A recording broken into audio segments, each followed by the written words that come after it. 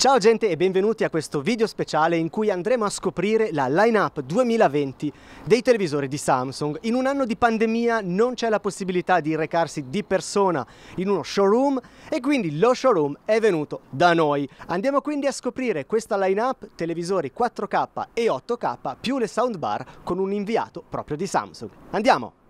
Joypad.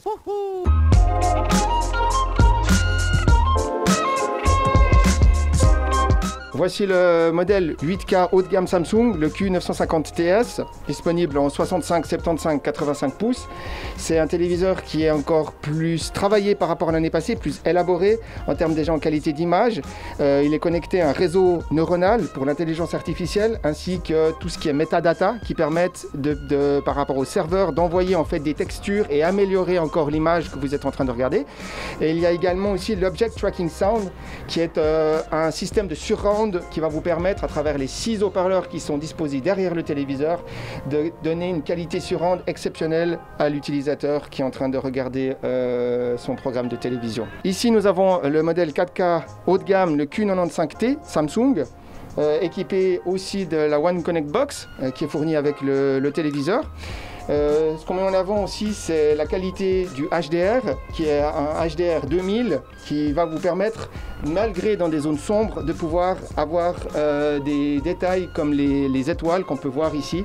Il est aussi équipé du Object Tracking Sound, hein, qu'on a aussi sur le modèle 8K euh, de Samsung, et également aussi de l'intelligence artificielle, qui permettent aussi également, tout comme l'upscaler, d'augmenter la qualité d'image, même que ce soit, on soit sur une source Full HD, HD, euh, évidemment 4K, euh, pour obtenir la meilleure qualité possible d'image. Donc ici nous avons euh, le nouveau modèle Frame de Samsung, Frame TV, disponible 32, 43, 50, 55, 65 et 75 pouces, donc au niveau des, grandes télévisions. cette année, il y a une petite différence par rapport au modèle de l'année passée au niveau d'avantage de c'est qu'en fait on a toujours le système QLED, mais avec un système Dual LED. Qu'est-ce que ça va amener Ce Dual LED, eh ben, ça va amener 20% d'image de contraste supplémentaire et 20% de noir plus profond. Donc en termes d'image, c'est une bien meilleure qualité que le modèle de l'année passée. On retrouve euh, le, système de, bord qui est personnalisable en plusieurs couleurs, euh, que la personne peut euh, personnaliser au maximum.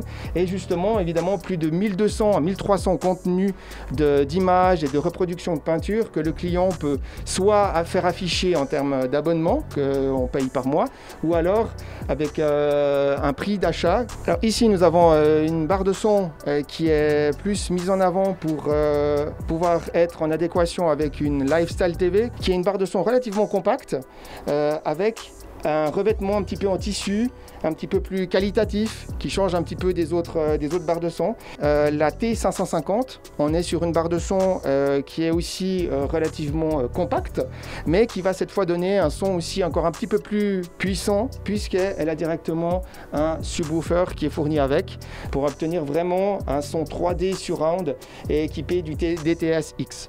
Une nouvelle barre de son, la Q70T, qui va aussi être équipé hein, d'un sub qui est ici et qui va vous donner vraiment encore un son riche et puissant pour vraiment obtenir une très très bonne qualité de son, mal avec un, quand même un design qui est quand même retravaillé et quand même relativement fin euh, et qui prend pas trop de place. L'abbiamo sentito eh, per bocche di Vincent tutte le novità di questi televisori, ma eh, questo ovviamente non può eh, sopperire a quella che è l'impressione dal vivo. Purtroppo non posso portarvi qui con me per vedere questi televisori, però posso darvi le mie impressioni e qualche dettaglio in più. Per prima cosa, tutti questi televisori che abbiamo visto sono dotati di porta HDMI 2.1, perché la cosa importante, per un semplice motivo, HDMI 2.1 supporta la risoluzione 8K, ma anche il 4K a 120 Hz ed è una cosa molto importante in questo 2020, eh, non solo da un punto di vista TV, ma specialmente da un punto di vista gaming. Perché? Perché sia PlayStation 5 che Xbox Series X supporteranno l'8K, magari non per i giochi, ma sicuramente per quanto riguarda la riproduzione video. Un'altra cosa importante è che tutti questi televisori sono dotati della modalità gaming, gaming automatico, che riduce tutto il processing video per migliorare in modo sensibile la reattività dei pannelli. Non è una novità di questi modelli 2020, la funzione esisteva già nei modelli passati, ma è fondamentale per il gaming avere un pannello il più reattivo possibile in modo da migliorare i tempi di risposta e quindi anche tutto quello che è il il feeling finale di gioco. Abbiamo parlato di video, ma bisogna parlare anche di audio ed era una delle criticità principali del modello Q900R 8K che ho recensito l'anno scorso. Detto in parole povere, l'audio era piuttosto carente. Eh, quest'anno si è lavorato molto eh, su, questo, eh, su questo dettaglio e grazie all'introduzione di tecnologie come Object Sound Tracking Plus eh, bisogna dire che eh, siamo passati da uno stereo piuttosto scadente a un effetto surround virtuale piuttosto impressionante, specialmente se è valutato in un camioncino come quello in cui mi trovo, nel quale effettivamente eh, non si può beneficiare al massimo del surround virtuale, eppure funziona. Un'altra funzione piuttosto divertente trovo è l'Active Voice Amplifier o AVA e in pratica il televisore aumenterà il volume se eh, detetta un, un, grande rumore di fondo, ad esempio un aspirapolvere, in modo che non dobbiate né mettere in pausa né perdervi eh, nulla di quanto accade sullo schermo.